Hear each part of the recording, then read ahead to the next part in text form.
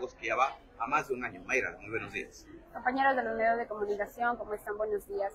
Bueno, primero decirles que pido una disculpa, ¿no? Porque eh, definitivamente pienso que no es la manera, pero no nos dejan otra opción, como yo puse en una publicación justo la semana anterior en mi cuenta, que, o sea, nos obligan a hacer cosas que no queremos, pero en verdad yo creo que eh, en sí las autoridades de, Pastaza, eh, tanto en los cuatro cantones, deben tener claro que cuando un artista hace su trabajo, cumple con lo ofrecido, a mí en ninguna administración anterior se habían tardado tanto en pagarme un evento. Ya llevamos más de un año que no me cancelan de un evento con mi marca Divertitud Fiesta, en donde estuvimos eh, tres personas trabajando en esta actividad. Yo tengo videos, tengo fotos, tengo los chats con, con, el alcalde, con, con el, la mano derecha del señor alcalde de, de, Santa Clara.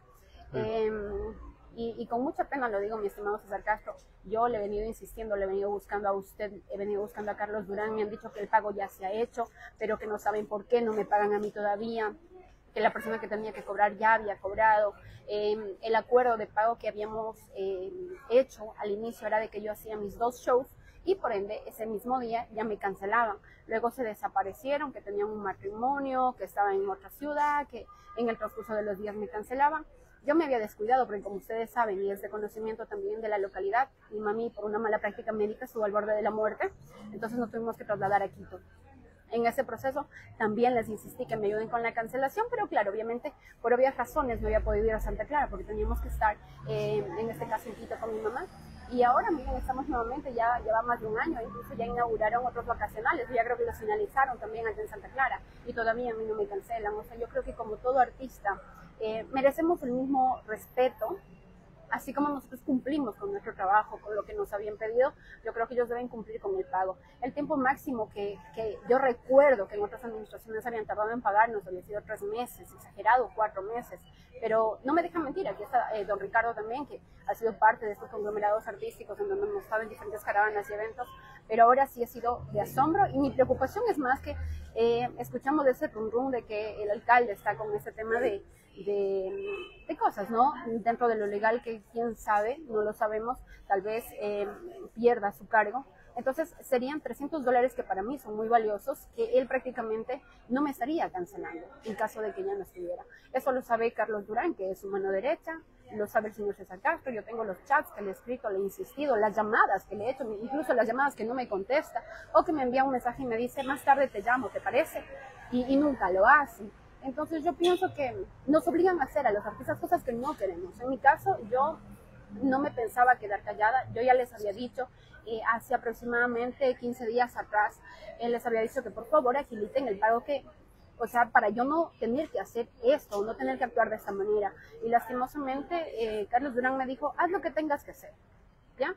Entonces, como no escucharon, como no hicieron caso, tal vez pensaron que uno no lo iba a hacer, ahora nos vemos pues eh, prácticamente orillados a denunciarlo de manera pública a ver si así paga. O de una vez es el de la vista gorda y ya no paga.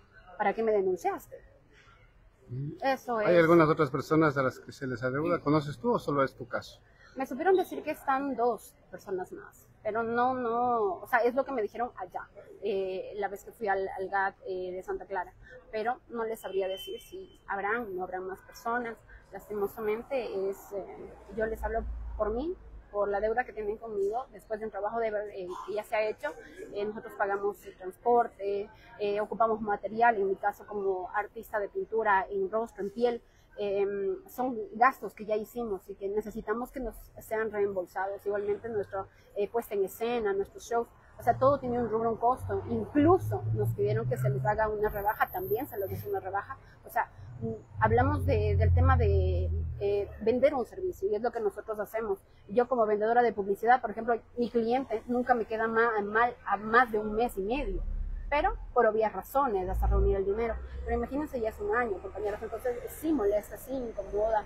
Y más incomoda el hecho de que uno insiste y le dicen, pero ya le pagaron, déjame ver, ya te canalizo, eh, déjame buscar la respuesta de, de, la persona tal a la que le pagaron el contrato.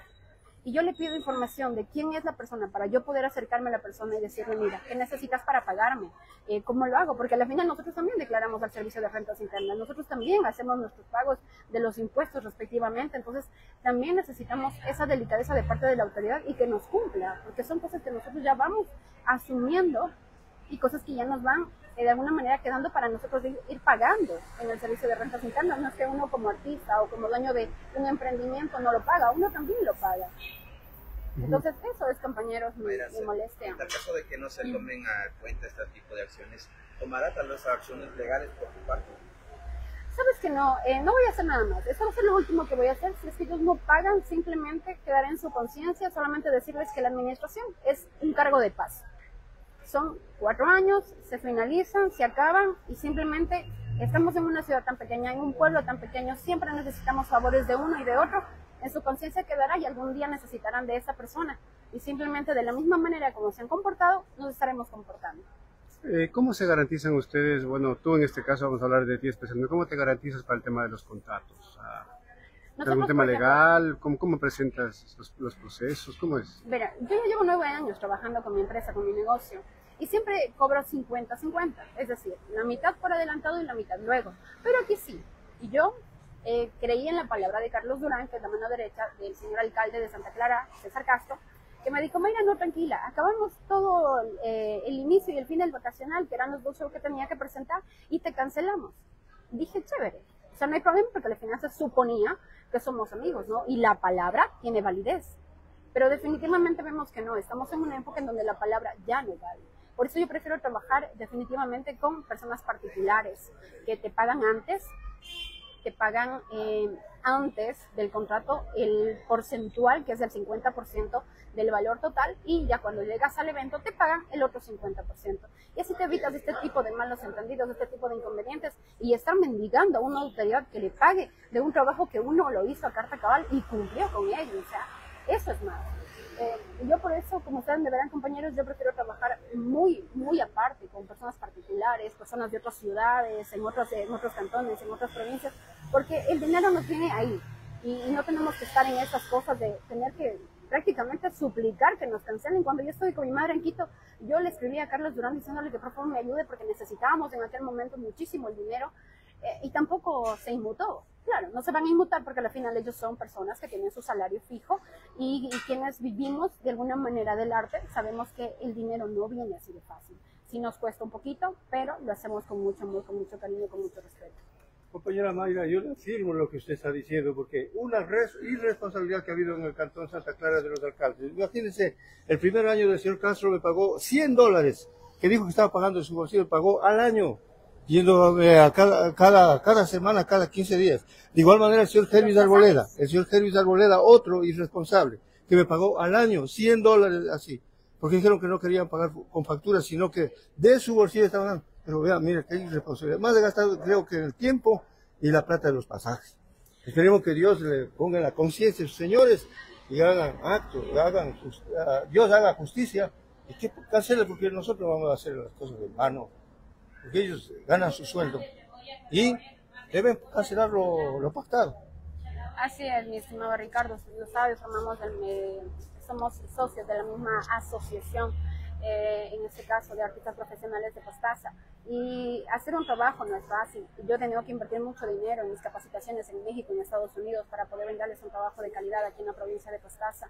Y de la misma manera fuimos con la misma calidad la misma responsabilidad, nos fuimos hacia eh, Santa Clara. Si ustedes quieren tomar eh, declaraciones del señor alcalde, háganlo con gusto. Mi nombre es Mayra Barros. Yo lo digo, yo lo afirmo eh, tengo los chats, tengo los mensajes que he hablado con Carlos Durán, tengo los chats que he hablado con César Castro, que me ha pedido de manera insistente que le envíe el número de cuenta de la empresa. Le he enviado porque lo tengo todo con logo, todo con respaldo, todo con número de cédula, porque así es como nos manejamos, con esa seriedad, con esa responsabilidad dentro de lo que es nuestro trabajo. Y sí, decirle a la ciudadanía también, o sea, si alguien más se ve afectado, denuncien, pidan a los compañeros de los medios de comunicación que, eh, que um, ustedes también puedan hacer escuchar sus voces y no se queden callados. Eh, algo que tienen que tener claros eh, nuestros compañeros artistas es que todas las administraciones y las autoridades son de paso, son pasajeras nada más. Quienes nos mantenemos en el tiempo somos los artistas y quienes necesitamos hacer valer nuestros derechos somos nosotros, los artistas, quienes vivimos de esto y quienes, eh, quienes hemos hecho de esto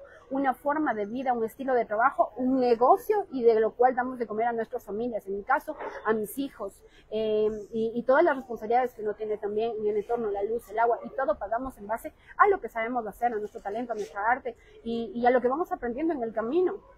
Esos compañeros, agradecerles por, por su tiempo, por su espacio y que Dios les bendiga.